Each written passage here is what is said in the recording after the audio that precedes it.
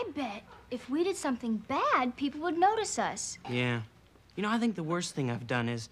Well, you remember that dirty poem on Mrs. Acker's blackboard, the one with all the four letter words? Don't tell me you wrote that. Nope, but I read it twice. Bob, do you see? We're alike. We've both got the same horrible image. We're nice. Yeah. I'm supposed to be a teenager, and my mother trusts me. it's embarrassing. Oh, Barbara, the reason I came over is, is I got my dad's car.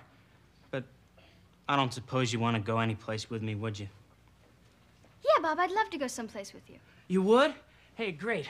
Where do you want to go? Chicago for the weekend.